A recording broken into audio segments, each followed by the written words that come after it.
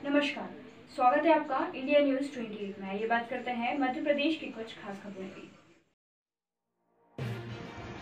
मध्य प्रदेश के श्योपुर में बिना मास्क लगाए लोगों के काटे चालान दी हिदायत। एसडीएम, एसडीओपी ने बागर रोड बाड़ौदा में बिना मास्क घूमने वाले लोगों के चालान काटे। श्योपुर ज़िले की बड़ौदा तहसील में आज एसडीएम, एसडीओपी नगर निरीक्षक तहसीलदार ने मिलकर बिना मास्क पहने घूम रहे लोगों पर चालान काटकर कार्यवाही की। एसडीएम रुपेश उपाध्याय ने बताया कि भारत सरकार के नियम अनुसार आज बागर रोड, बड़ौदा में बिना मास्क लगाए घूम रहे लोगों के खिलाफ चालान काटकर समझाइश दी गई कि शासन के निर्देश भी हैं जिससे लोग सुरक्षित रह सकें।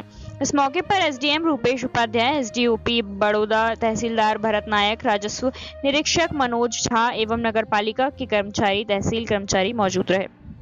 श्योपुर से मनोज कश्यप की रिपोर्ट। कोई भी आदमी बता मास्क नहीं आप निकलना चाहिए और सोशल डिस्टेंस का पालन करना चाहिए। लेकिन देखने में आ रहा है कि लोग ऐसा कर नहीं रहे तो आज हम एस डी साहब सारे लोगों ने ही आज कार्रवाई की है और ये कार्रवाई निरंतर जारी रहेगी।